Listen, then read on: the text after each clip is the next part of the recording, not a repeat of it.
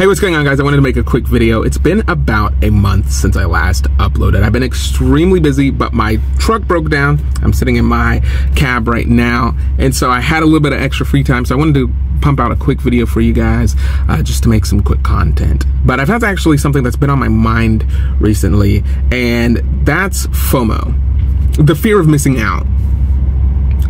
I graduated high school back in 2018, and when all my friends went to college, I started working.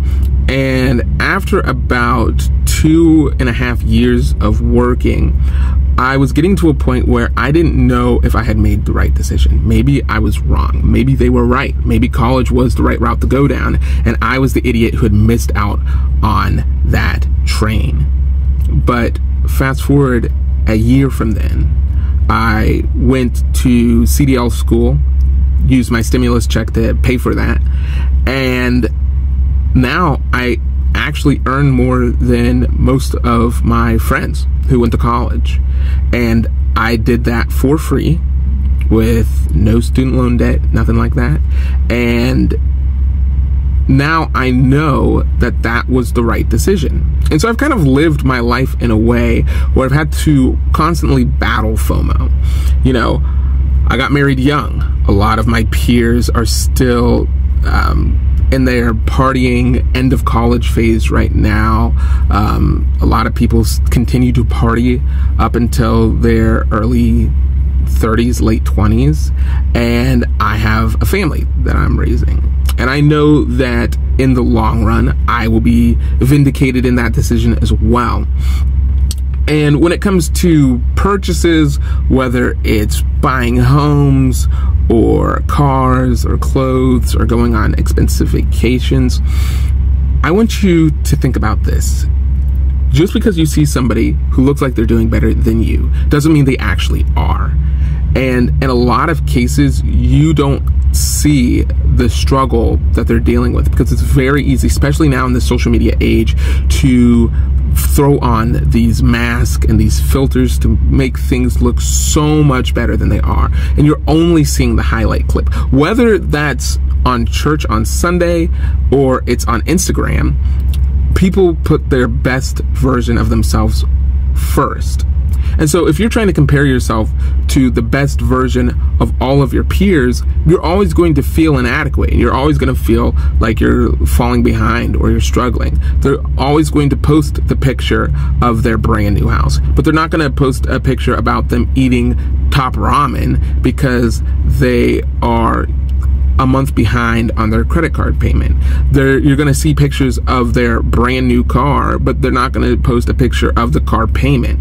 You're going to see pictures of the vacation, but you're not going to see a credit card statement that actually funded that vacation because they were tricked into the reward systems on a lot of these credit cards, which by the way, credit cards are extremely predatory and credit card um, debt is at an all-time high right now. The average credit card um, is right around six and a half thousand that is carried over on a month-to-month basis, and that's for 70% of Americans. It's crazy.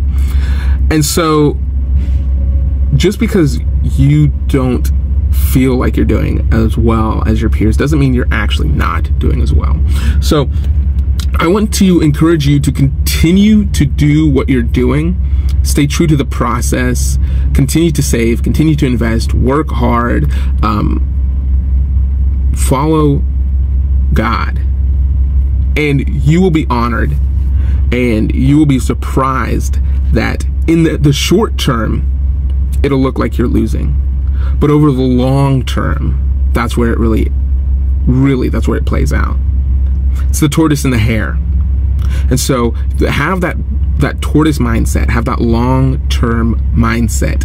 What is this going to look like in 10 to 15 to 20 year increments? I know that is hard and it's against our cultural norms to be thinking that far ahead. But that is what is necessary for you to make the correct decisions. If you don't think about how is this going to feel in the moment, but how is this going to feel in the future? If you chase excellence over chasing pleasures, then your life will exponentially be better. It's like the saying goes that when you're expenses exceed your income, then your overhead will become your downfall. And so you want to make sure that you are setting yourself up for success and not for failure. Because whether you succeed or fail ultimately comes down to, in a lot of ways, your personal choices.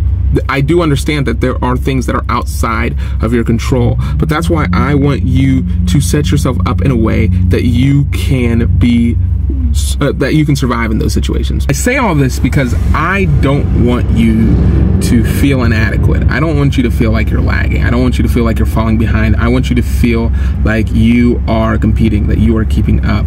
I know it's harder now than ever to succeed and to take just baby steps forward in life. But if you dedicate yourself to these things, if you chase the excellence, if you put aside the pleasure and the passion, then I promise that over the next 15, 20, 30 years, it will be worth it. Trust me.